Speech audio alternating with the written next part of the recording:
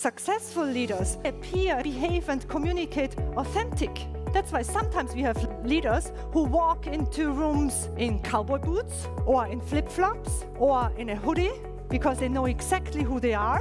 Professional might have looked different 50 years ago than it looks now, and that has a lot to do with the respect that we show to ourselves and each other. You are the one who is responsible for yourself. Therefore, you must show yourself some respect, making sure that you care about yourself first so that others believe you have the ability to care about them too. Even if you think they only have the big picture in mind, the reality is that successful leaders control every puzzle piece of their image. They put together a story for us every single day, online and offline, because they know how they can influence the way we think about them.